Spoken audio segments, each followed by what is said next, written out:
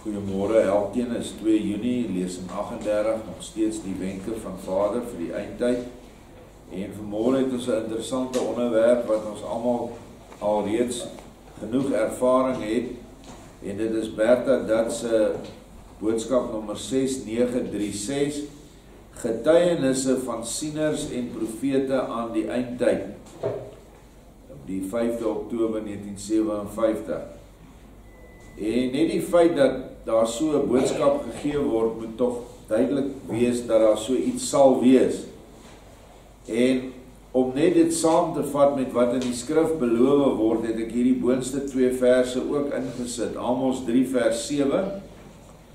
Want my meester Jawe doen niks tensy hy die besluit van sy raad aan sy knegte die profete geopenbaar het nie. Johannes 16 vers 13 Maar wanneer sy gekom het, die gees van die waarheid, sal sy julle in die hele waarheid lei. Want sy sal nie uit haarself spreek nie, maar alles wat sy hoor, sal sy spreek en die toekomstige dinge aan julle verkondig. Almal wat dan nou al 'n ruk by dogter van Sion is, weet dat die gees is die vroulike van die godheid en dit is hoekom die sy daar is en dit is logies omdat die trooster in enige huisgesin is die moeder. En die groot eienskap hier is die toekomstige dinge, die profeseë sal aan julle verkondig word deur hierdie gees. En ons by dogter van Sion is so bevoorreg om die geskrifte van Jakob Lorber te hê. Die geskrifte van Swedenborg, die geskrifte van Bertha Dat waar uit ons ver oggend gaan lees. Die geskrifte van Siener van Rensburg, van Johanna Brandt en dan van talle moderne profete wat nog vandag leef en tussen ons is en waarvan daar vele in ons gemeente is. Ons is so bevoorreg want ander gemeentes oor Suid-Afrika het nie daai voorreg nie. Want hulle glo nie dat Vader weer gaan praat met sy volk nie. Die kerke verkondig dat die Bybel is afgesluit by Openbaring en dit is klaar. God praat niks verder meer met sy mense met sy volk nie. Maar hier sê hy dit, hy doen niks. Nou wat gaan hy nou doen aan die einde van die tyd? Ons het tog nou hierdie groot waarskuwings gekry in die afgelope weke se profeseë. Hy gaan 'n ster hier laat verbygaan, 'n hengse groot kataklisme gaan op die aarde plaasvind. Dan kom die eindtyd, dan kom die anti-kristus, voor dit is die anti-kristus. Dis mos groot dinge wat gaan gebeur. Dis tog mos logies om te verwag dat Vader ons sal met ons sal praat en waarsku dat ons nie sal skrik nie en ten gronde gaan nie. Maar nee, die kerk sê hy praat nie na Patmos nie. Wat in elk geval dwaas is, Paulus was lank na Patmos, het hy nog sy sendbriewe vir die mense uitgestuur. Maar so spreek hulle teen hulle self want dit is dwaasheid Want wanneer die dominee daar staan en praat by sy kansel, dan staan op die kansel so spreek die Here. Nou as die dominee nou die Here se woord dan nou bring vir die mense, kan die dominee hom ons nou nie beroep dat die Here het laas nag vir my gehelp om hierdie preek voor te berei nie of gister nie. Want die Here praat nie meer met sy mense nie, dis wat hulle glo. Dat die volle omvang van die oneindige alomteenwoordige godheid is in 'n swart boek vasgevang met 'n beperkte aantal boeke en bladsye. Dis die godheid vir hulle. Die God, die Vader wat ek aanbid, Jahwe Almagtig, is so groot dat daar geen einde aan hom is nie. Hy is genoem die woord wat aarde toe gekom het. En waarom moet die woord nou stom wees? Omdat mense so besluit. Dank Vader dat ons woord met 'n hoofletter Yeshua Messia is nie stom nie. Hy praat met ons want ons laat hom toe om met ons te praat. Sodat ons hierdie woorde vanuit die Duits na Afrikaans toe vertaal in hierdie gemeente. En dis beskikbaar vir almal wat dit wil hê, gratis op die internet en dan moet jy 'n paar rand betaal vir die boeke wat ons dit ingedruk het. En ons het nou al van Bertha dat 2/3 van die werk klaar. En dis nou beskikbaar. Vier boeke uh vanaf die vanuit die 6 En boek 4 het Erna hulle nou hierdie week klaar en as mense op die bandjie dit wil bestel, hulle kan dit bestel. Boek 4 is dan die volgende bundel. En hierdie gedeeltes wat ek vandag behandel, kom uit boek 4 uit. Kom ons lees. Getuienisse van sieners en profete aan die eindtyd. Nommer 6936. Verneem wat die Gees vanuit God aan julle verkondig. Die profete en sieners is deur myself gekies omdat daar op hulle 'n groot en gewigtige opdrag opdrag rus. Hulle moet die mense kennis gee van die komende wêreldoordeel en hulle vermaan om hulle daarop voor te berei. Hierdie sieners en profete spreek nie uit hulle self nie, maar gee slegs deur wat my Gees aan hulle bekend maak. Ek kom dus as te ware in 'n regstreekse uiting van myself na julle. Maar tog moet ek my bedien van 'n bemiddelaar om julle mense onvry te maak. Ag om julle mense nie onvry te maak in julle denke en handeling nie. Wat beteken dit? Dit beteken dat Vader geskikte menslike houers kies wat sy stem kan hoor. Wat die voorwaarde vir daardie mense is, hulle moet 'n suiwer lewenswandel hê. Hulle moet opreg wees, hulle moet in die waarheid wandel en hulle moet 'n voorbeeldige lewe lei. Vader gaan tog nou nie 'n kroegleer of 'n dronkaard of 'n ou wat verslaaf is aan enige dwelm gaan hy kan gebruik nie, want dit is 'n ongeloofwaardige houer. Ek en jy gaan die houer bevraagteken en dan gaan ons vra maar hoekom moet ek hierdie goed glo? Maar Vader moet hom van 'n houer 'n mens bedien, want as hy self hierdie woorde moes na die aarde toe herlei het, sê maar deur sy stem wat die mense dan gehoor het en sy stem kan klink oor die hele aarde, almal kan hom gelyk hoor as hy dit so wil hê. Dit is hoe hard sy stem is. En die mense hoor sy woorde en hulle doen dit nie, dan is hulle geoordeel. Want dan het hulle gelaster teen die Heilige Gees. En as jy laster teen die Heilige Gees geïnspireerde woord wat direk gebring word, gaan jy die konsekwensies of gevolge moet dra. En dit is 'n verskriklike sonde wat eintlik daar staan in die Bybel nie op hierdie aarde nie en nie in die toekomende eeu vergewe gaan word nie. Want die verharding wat jy in jou het, maak dit onmoontlik om die woord te hoor en onmoontlik om die woord te herken. En jy gaan nie daai verharding hier los nie en ook nie baie moeilik aan die ander kant. So dit is hoekom hy dit nie self vir ons gee of 'n engel daal neer en gee dit vir ons nie. Dit is op 'n natuurlike manier wat hy dit moet gee. Want 'n bonatuurlike manier sal vir jou oordeel bring. Dis dieselfde met bonatuurlike genesings. Vader sal nie sommer dat 'n mens voor 'n klomp mense 'n man wat se bene af is aan hom raak en dan groei die nuwe bene uit nie. Want as jy dit verwerp en sê maar ek glo dit nie, en ek glo ook niks wat hierdie gemeente sê nie, dan is jy geoordeel, want jy het dit gesien, jy het die prediking gehoor wat daarmee saamgegaan het, jy het dit nie aanvaar nie. Dan het jy gelaster teen die werking van die Heilige Gees. Daarom sal Vader aan die einde van die tyd nie sulke sigbare wonderwerke voor almal doen nie. Voor sy kinders wat nie daar geoordeel gaan word nie, sal hy dit verseker doen of hy sal dit op 'n manier doen dat die mense kan dink dit kan op 'n ander manier gebeur. En dan word hulle nie geoordeel nie. Dit is maar net 'n verduideliking op op die storie wat hy sê ek wil julle nie onvry maak nie. Julle kan dit dus glo, maar word nie daartoe gedwing nie. Julle sal dit wel glo as julle die profetiese taak van die bemiddelaars aanvaar. Julle sal dit egter afwys as julle aan hulle taak twyfel. Maar ek wil dit vir julle mense maklik maak om hulle te glo. Ek sal hulle sending duidelik laat blyk deurdat ek die verkondigde veranderinge wat die oordeel vooraf gaan laat gebeur. En dit is wat hy nou sê met hierdie boodskappe van Bertha. Die voorafgaande verkondigde oordeele, die groot oorlog, die natuurkatastrofe wat die hele wêreld gaan tref, die ster wat kom.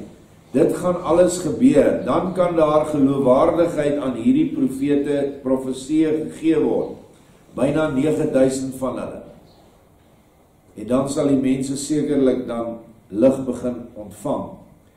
En ek, Yeshua, sal ook daarvoor sorg dat hierdie aankondigings verspreiding vind sodat vele mense daarvan kennis sal neem en ook die bevestiging daarvan sal ondervind omdat alles sal gebeur soos ek dit vooraf laat verkondig het deur sieners en profete.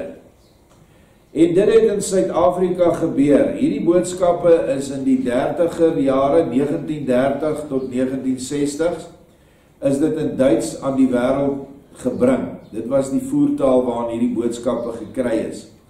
Dit is toe later in Engels vertaal, in Frans, in Spaans En hier in die jaar 2004 daarom het ons op dit afgekom en het ons hier by dogter van Sion aan die werk gespring en die boodskappe begin vertaal in Afrikaans. Ek het die boodskappe op die internet geplaas in die vorm van omtrent 30 of 40 klein boekies met verskillende onderwerpe. Later aan het ons nou groot bundels opgesit wat al die profeseë ingehaat het. Maar as jy wil iets wil gaan soek, dan sal jy die opskrif kry en dan kan jy daarna gaan daarna gaan kyk en gaan lees. Ek het verder by Vader gebid en gevra ek wil dit vir die Israeliete bring of ek die name kan verander dat ons die bekende name van ons mense wat nou in die Israel waarheid is kan gebruik. En hy het my toestemming gegee. En so het ons Vader Jawe en Yeshua se name ingebring die begrippe soos ons mense dit nou verstaan nadat hy dit aan ons geopenbaar het want in Bertha se tyd was die name Jesus Her God was nog bekend gewees aan haar. En so het ek dit vir 'n paar jaar gelos op die webwerf. Geen Israeliet gemeente wou hierdie woorde hê nie. Inteendeel, die goed is afgebreek tot in die grond in Dit is gesê is 'n klomp nonsens, dit kom nie van Vader af nie ensovoorts ensovoorts. Toe bid ek weer vir Vader, wat moet ek nou doen? Toe kry ek dit in my hart, verander die name terug soos wat ek dit oorspronklik gegee het. Sit dit terug op jou webwerf en gaan haal die mense uit die kerke uit wat op die kruispaaie is. Die lammes, die blindes, die krepeles, die malaatses want die genooides was dit nie werd nie. Dit is skrikwekkende woorde. Wie's die genooides? Dis hulle wat hulle self identifiseer het as Israel. Dis hulle wat weet wie die beloftes in die skrif voor is. Dis hulle wat weet dat die 12000 uit elke stam van Israel die bruid gaan opmaak aan die einde van die tyd. Hulle is die uitgenooides. Maar hulle wou nie hierdie woorde van Yeshua hoor nie. Hulle verwerp die bruidegom se boodskappe. En dit het soveel wonderlike openbarings in my gemoed gebring. Deurdat ek baie dinge weet wat ek nie geweet het voordat ek Bertha dat begin lees het nie. En nog baie dinge wat ons met die Jakob Lorber boodskappe ontdek het oor die siele leer, oor die lewe na die dood oor wat ons moet doen om gered te word, hoe die liefdeswerke moet plaasvind en al die dinge elke dag. Soos vanoggend lees ons nou weer hierdie dinge. So dis hartseer dat die genooides dit nie werd was nie, maar dit was so in die verlede die fariseërs wat geroepe is of hulle self as geroepenes van Vader beskou het wat ook hulle identiteit geken het en wat in die tempel gewerk het en die volk het almal na hulle toe gekom. Hulle het dit ook verwerp, Joshua se woorde. So dis niks niets nie. Nou binne in die kerke, die kerke sal dit nooit aanvaar nie. Dit kan nie dan maar met 'n klip uitkom. Maar die mense in die kerke is daar nog mense wat liefdeswerke doen en hulle harte sal dit ontvang. En so vind ons dat die mens wat in die kerk is wat in 'n liefdes bediening staan op sy eie apart van die kerk dat hulle hierdie woorde dadelik aangryp want die liefde het al hulle innerlike versag. En die gees wat in hulle is herken die gees waarin hierdie boodskappe geskryf is. Maar die gees van oordeel geestelike hoogmoed en al die ander dinge wat die mens beheers wat uit die kerk uitgegaan het en wat nou dink hulle is die uitverkorenes en hulle moet heeltyd aan die aarde vashou anders te vlieg hulle hemel toe en party mense dink so ek het baie van hulle te doen gehad. En jy kry nie hulle dat hulle hierdie woorde kan aanvaar nie. Want die deemoed ontbreek die nege, ne, nederigheid ontbreek. So dis hoe hierdie dinge werk. Kom ons lees verder.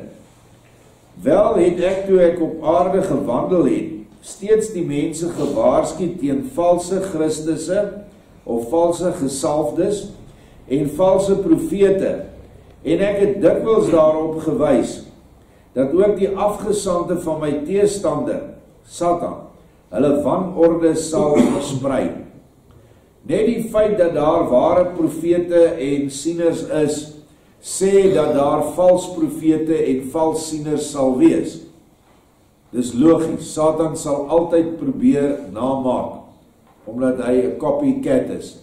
En hy gaan kom as 'n engel van die lig en hy gaan die mense mislei. En daarom moet ons baie skerp wees in hierdie tyd en nie enige profesie as van Vader af beskou nie. En ek waarsku nou weer om die weer die mense om nie in hulle vangnette te beland nie en gel geen geloof aan sy intriges te skenk nie.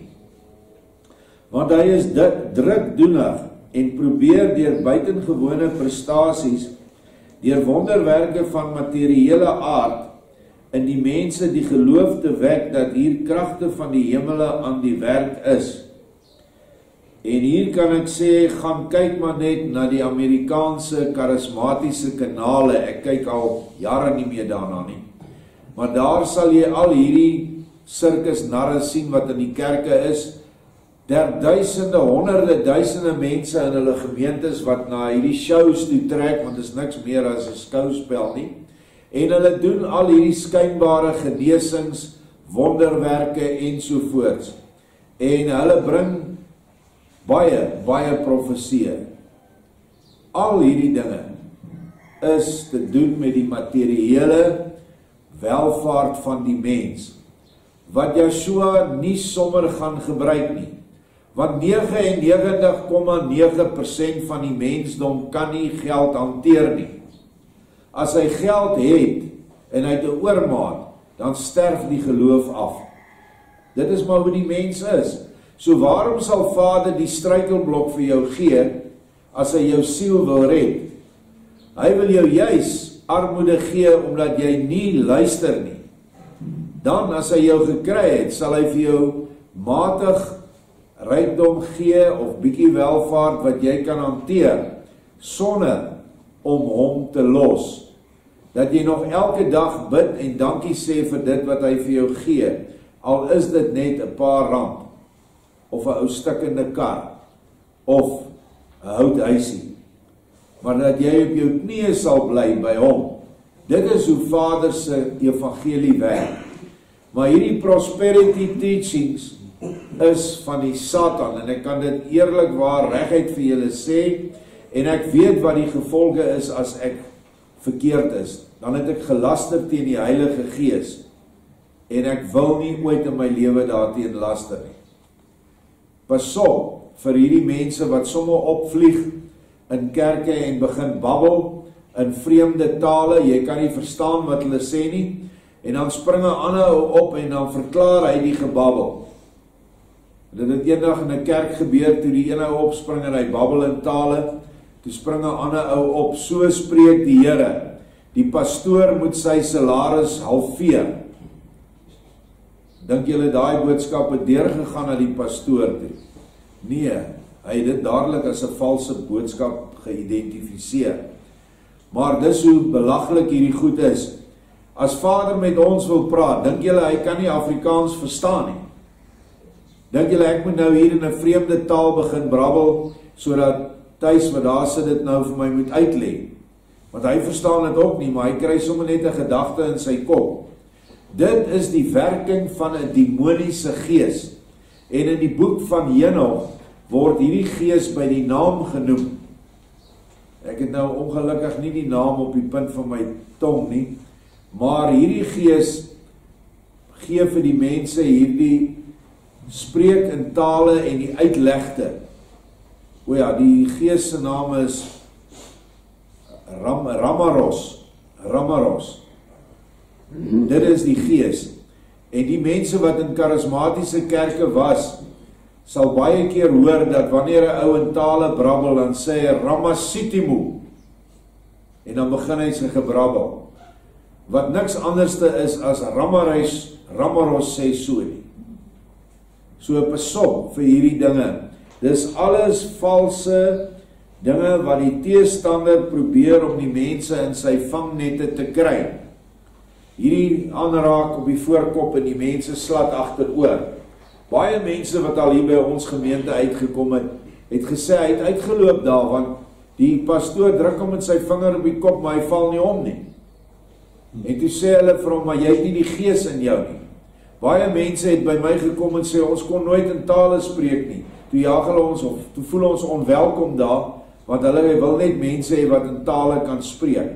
Dis nie tale nie, dis brabbel en dan is ons hier by julle vandag. En dit is omdat Vader se gees in hulle was wat hulle beskerm het teen hierdie sirkus narre se manewales, want ek kan dit nie iets anders noem nie. Jy kry mos drie soorte kerke. Jy kry hierdie sirkuskerke, dan kry jy konsertkerke waar almal net gaan vir die show en dis 'n lekker band en almal kuier lekker. En dan kry jy die begrafniskerke, die ou susterskerke waar jy jou gesig so lank moet trek en so treurig moet lyk, dan is jy heilig. Al hierdie plekke is mensgemaakte ordes.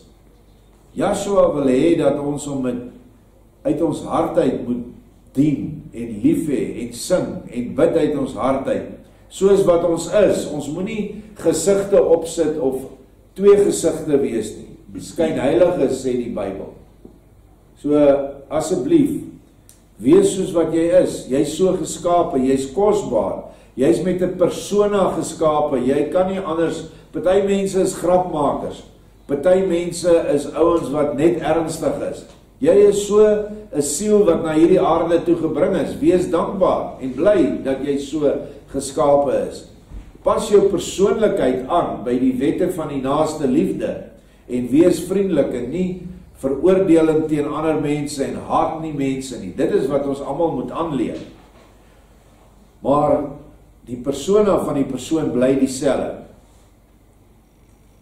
Gaan verder, maar jy sy buitengewone aktiwiteite in die tyd van die einde vereis ook my teenwerking wat daarin bestaan om middele aan te wend wat die swakke geloof weer kan opwek of die verlore geloof weer terug te wen. En dit kan egter nie anders geskied as deur die reine waarheid te bring wat vloei uit die bron van waarheid wat egter deur bemiddelaars tot julle mense moet kom omdat julle dit nie self kan ontvang nie.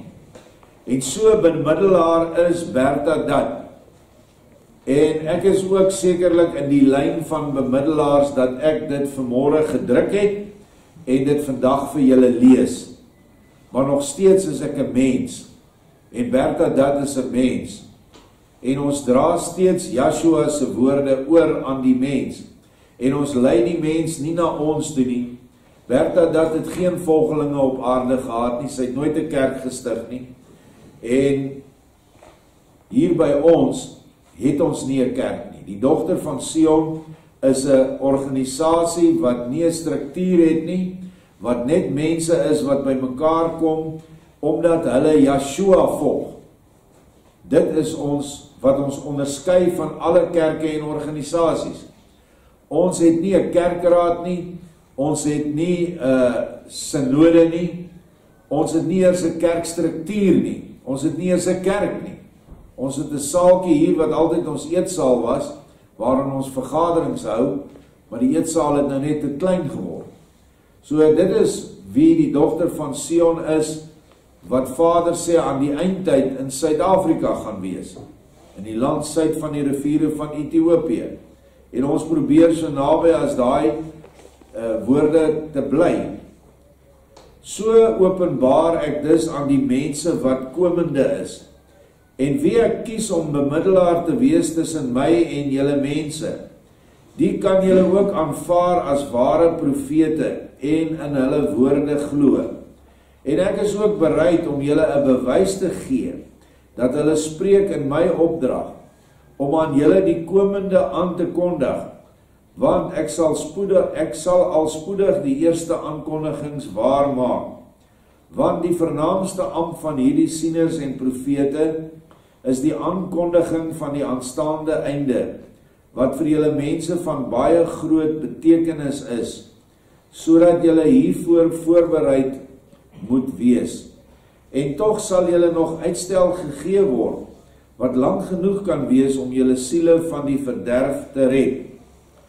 Baie van Bertha dat se boodskappe het waar geword. Ons het 'n paar behandel hierdie afgelope tyd en ek dink nou sommer aan die eksperimentering met vernietigende wapens. Ek dink aan die gif wat in die planteryk ingesit word deur die DNA te verander. Dit alles het Vader vir haar gegee wat ondenkbaar was in die 50er 60er jare. En al die ander dinge wat ons dan ook beleef het in hierdie afgelope tyd vanaf die boodskap gegee was oor die afgelope 60 jaar. Die boosheid van die mense het 'n pyl bereik wat ondenkbaar was 60 jaar gelede. Ondenkbaar. Die lae geestelike pyl. En daarom sê Vader, sal ek nie lank meer talm nie. Ek sal die sending van my sieners en profete bevestig. Ek sal die daad laat volg op hulle aankondigings. Maar ek sal voor die einde die aarde nog laat bewe en myself in herinnering bring by alle mense deur 'n natuurverskynsel wat deur my wil steeds weer aangekondig word. En ons het dit in eergister se lesing behandel, die natuurkatastrofe wat die aarde gaan laat bewe en ruk. Want ek gee self ek self gee my bemiddelaars die opdrag daartoe en hulle moet dus slegs as my werktuie en verteenwoordigers op aarde spreek. Hulle moet in my plek die mense waarsku en vermaan en ek is so 'n werktuig. En die dogter van Sion se groepe, WhatsApp groepe ensovoorts is sulke werktuie dat mense die waarheid kan hoor oor wat gaan gebeur aan die einde. Sodat hulle dit kan lees en alles hulle nog in twyfel daaroor of is hulle nie seker nie kan die gebeure wat plaasvind vir hulle sekerheid gee. En dan sal hulle die res van die boodskappe ook wil luister en lees as hulle nie dwaase is nie. Maar ongelukkig is daar vele dwaase op die aarde vandag. En die mens kan nie oortuig word nie Jy kan nie mense nie oortuig van die liefdesleer nie. Dit is verskriklik moeilik. Maar nou ja, dit sê nie ons moenie ophou nie, ons moet nog steeds probeer. Julle mag julleself nie veilig waan teenoor die gebeurtenisse wat getuig van 'n hoër mag nie. Julle moet dit vrees en glo dat dit my woord waarheid is. Dat ek self daardeur spreek en gespreek het en dat julle ook met sekerheid 'n uiterste moeilike tyd tegemoet gaan as my genade julle nie voortydig wegroep nie. En so het ons in die afgelope week ervaar dat Vader se genade baie mense in die Philadelphia ark weggeroep het.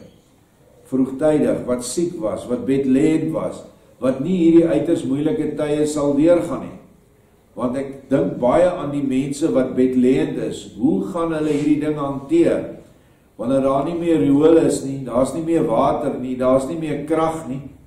Wat dan die gevolg het dat daar nie meer kos is nie. En die ou lê in 'n Wendy huis of in 'n klein huisie in 'n arm deel van Pretoria.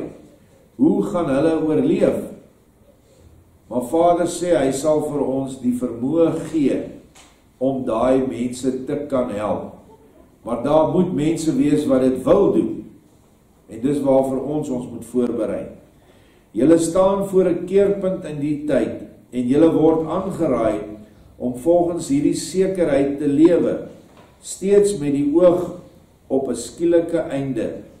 Maar geen mens hoef die einde te vrees wat bewustelik aan homself werk en meer aan sy siel dink as aan sy liggaam nie.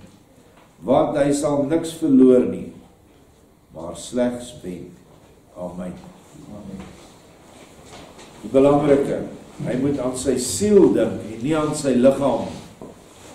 Maar ongelukkig kom so baie mense hier aan wat niks anderste as buitdienaars is nie. Hy dien sy pens. En dis al waarom hy hier is vir die eerste 30 dae, want dis die reël van die plaas en as hy nie is nie, kan hy nie bly nie en kry nie kos. Maar na 30 dae sien jy hom nooit weer waar die geestelike kos uitgedeel word nie. Jy sien hom nooit weer waar gesang aangehef word vir Vader nie of waar saam gebid word tot Vader nie. Jy sien hom net. Want hy dink nie aan sy siel nie, hy dink aan sy maag. En so vind ons soveel mense kom hier aan en hulle is te dankbaar want hulle het alles daar buite verloor. En dan kom hy hier dan herken hy nie die sielskos wat vir hom aangebied word nie.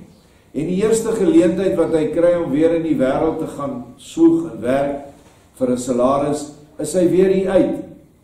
En dan 90% van die kere verneek die ou hom nog daar buite ons eie volksgenote en verloor hulle dan werklik alles. So erken hier al is dit 'n een eenvoudige verblyf wat jy hier het, saam met jy eet, saam ander mense badkamers gebruik ensovoorts.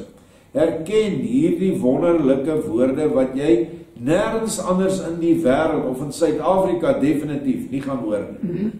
Niemand gaan vir jou hierdie boodskappe lees nie. En wie se boodskap is dit?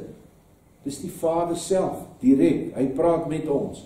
Dis nie 'n preek wat ek voorberei het nie. Dis nie 'n preek wat uit kerkboeke uitkom nie, soos wat die dominees elke oggend of sonnaandoggende preek nie. Hulle preek almal uit 'n boek uit. Jy het al gesien dat predikante se kantoor, was jy al daarin? Nog net op orders vir die predikant nie gehoor. Hulle boeke man die rakke, dit imponeer jou so tot teen die dak, links, regs, agter. En ek het eendag gaan kyk wat daai boeke alles is. As jy hom uittrek, dan sal jy sien, dis elke vers in die Bybel is 'n preek gegee oor die vers. So as hy vanmôre uit Johannes 16 vers 13 wil lees, Dan gaan hy na die boeke en haal hy daai preek uit en dan lewer hy die preek, maar hy kleur dit net locally bietjie in. Hy bring bietjie van die dorp se goeders by. Maar Koos en Piet en Jan Dominee wat in al die dorpe in Suid-Afrika is, preek dieselfde oor daai vers. Hulle preek nie uit hulle hart uit nie. Hulle preek nie uit die trooster gees nie. Hulle preek uit die kerkgees. En dis die verskil. So die mense is geïmponeer hiermee Maar as jy werklik daaraan dink, is dit so hopeloos en so pateties dat jy 'n preek moet voorberei uit 'n boek uit wat deur 'n kerk opgestel is. Wat nie deur Vader opgestel is nie. Dit is nie sy woorde wat jy dan preek nie. Dit is jou werkgewer se woorde want jy's 'n huurling.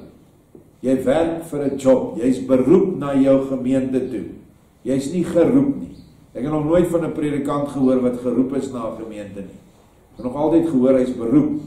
En die woord beroep sê vir jou, dis 'n job. So gaan na die geroepenes toe. Jy sal kry dat hulle nie tiendes van die mens afeis nie of bydraes wat groter as tiendes is. Jy sal ook kry dat hulle hulle self kan versorg.